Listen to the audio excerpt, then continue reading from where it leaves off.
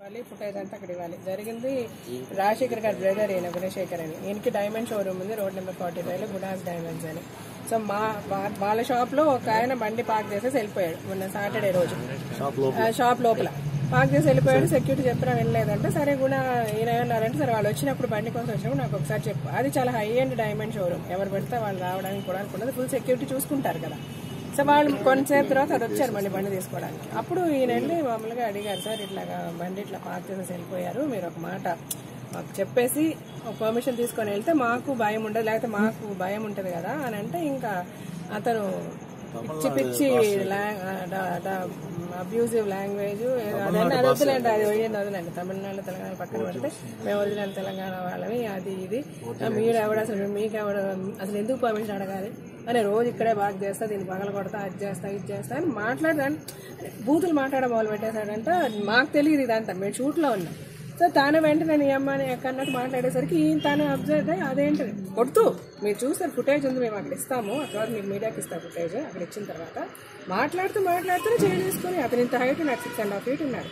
ఫటా ఫటా కొడుతున్నాడు కొడుతూ మాట్లాడుతున్నాడు పీక పట్టుకొని ఇస్టేసి కొట్టి కాళ్ళతో తని నానా బూతులు మాట్లాడి వీళ్ళు లోపల లాక్కెళ్తే షాప్లోకి వెళ్ళి బెదిరించి నువ్వేం చేస్తావరా ఏం పిక్కుంటావు పిక్కో నేను ఇట్లాగే పార్క్ చేస్తా ఇక్కడే చేస్తా ఇట్లాగే నీకు షాప్ మొత్తం బాగా కొడతా అద్దాలు బాగా కొడతా అద్దాలు బాగా కొడతా.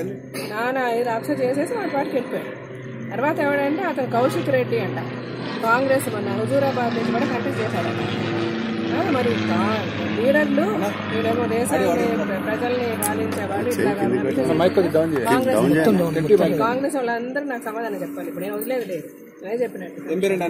అంటే కౌశిక్ రెడ్డి అంట. ఆయన మొన్న హుజూరాబాద్ నుంచి కంటెస్ట్ చేశారు కాంగ్రెస్ నుంచి.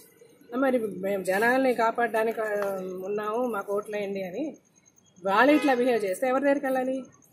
ఎవరికి గొప్ప ఎవరెవరికి గొప్ప? ఇప్పుడు మొత్తం కాంగ్రెస్ మొత్తం సమాధానం చెప్పాలి. రెగ్యులర్గా వచ్చేవాడా లేదు అసలు వీళ్ళకి సంబంధం road number forty five sir shop Gunas diamond jewellery నాకు పార్క్ చేస్తే నాకు ఇన్ఫర్మేషన్ చెప్పాలా సార్ మాకు వచ్చి సెక్యూరిటీ రీజన్స్ ఉందంటే నీకెవడరా చెప్పేది నేను? మేము తెలంగాణ వాళ్ళు నీకెందుకురా చెప్పాలనేసి బూతులంట ఇష్టాన్ని నోటికి వచ్చిన బూతులు మాట్లాడాను సార్ మాట్లాడేసి స్టార్టెడ్ హిట్టింగ్ని తన్నేసి ఇట్లా ఇట్లా పట్టి తన్నేసి చాలా చేశాడు. సరే అండి ఆయన ఆయన మాట్లాడడం కష్టం. Because like it's very humiliating తను మాట్లాడడం ఇబ్బంది.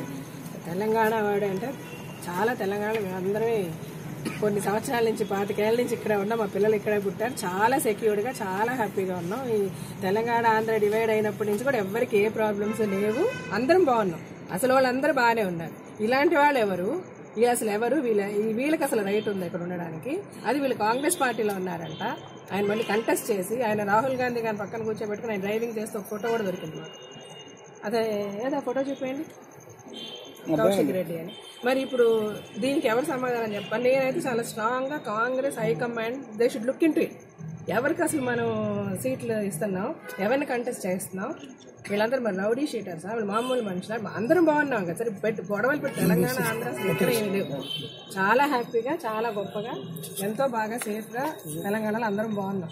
థ్యాంక్స్ టు కేసీఆర్ గారు కేటీఆర్ గారు అందరూ కూడా. ఎవరికి ఏ ప్రాబ్లమ్స్ లేవు. అటు ఆంధ్ర వాళ్ళు తెలంగాణ అవనివ్వండి. ఇలాంటి వాళ్ళ వల్ల. ఇది ఇతను. వీళ్ళందరూ ఇప్పుడు దేశ నాయకులు. ఇలాంటి వాళ్ళకి సీట్లు ఇచ్చేస్తారు. అసలు పద్ధతి అండి ఇది? ఆయనకేమో కూతురు అతను వీళ్ళ షాప్లో పాక్ చేస్తే ఆయన ఎక్కడికి వెళ్ళాడు. ఎదరు షాప్కి వెళ్ళాడో హోటల్కి వెళ్ళాడో ఎక్కడికో తెలియదు. బట్ మన షాప్లో పార్క్ చేశాడు. చేసేసి వెళ్ళిపోయాడు. తర్వాత బండి కోసం వస్తే సార్ పర్మిషన్ అడగచ్చు కదా అనడం తప్పయింది ఇప్పుడు ఇది ఎప్పుడు జరిగింది మేడం? సాటర్డే నైట్ జరిగింది. దానికేమో పాపం ఇంట్లో తన వైఫ్ కూతురే ఉంటారు. ఎవరితో చెప్పడానికి లేదు. నైట్ మా ఇంటికి వచ్చేసరికి మేమేమో అల్యూమినియం ఫ్యాక్టరీ షూటింగ్లో ఉన్నాం. మా ఫోన్స్ రీచ్ కాలేదు.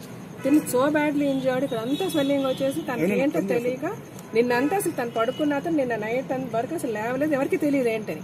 ఓ జ్వరము ఇది సాటర్డే నైట్. మొన్న సాటర్డే నైట్ జరిగింది. నిన్నంతా డెంట్ గెటప్ మొత్తం అంటే హాస్పిటల్కి వెళ్ళి చూపించుకున్నాడు. ఇదంతా దెబ్బలు అది ఉంది.